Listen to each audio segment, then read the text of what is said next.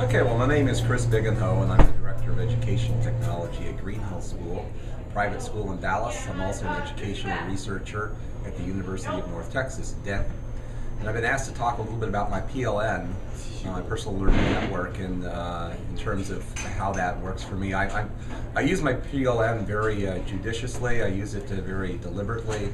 Um, I haven't been real good about uh, you know, collecting a whole lot of followers. That's, that's not really necessarily what I'm looking at trying to do, um, nor in following a lot of people. I, have learned that I, out of politeness, need to follow more people.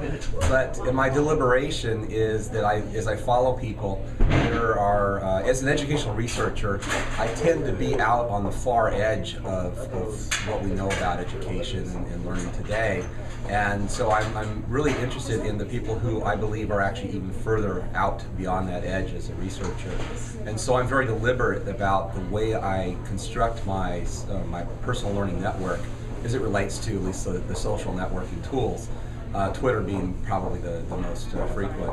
And so I have a very small group. I use a tool, in this case it's uh, TweetDeck, um, to create groups that uh, I place people in who are researchers. So I, while I might have you know four or five hundred people that I'm following, I may actually only be following um, you know 10 or 12 really closely on a regular basis because these are people that I know are working in the field similar to mine that I believe are are actually even pushing the edge a little bit beyond me. So it helps me to get a sense of, of what might be on my horizon which is not necessarily the horizon of what education is looking at today. So it's it's it's a little bit different, I, I, guess, than how most people use their PLN, their personal learning network. So if I want to talk about a change of practice for me, um, I don't normally, I wouldn't normally describe a change of practice coming from Twitter.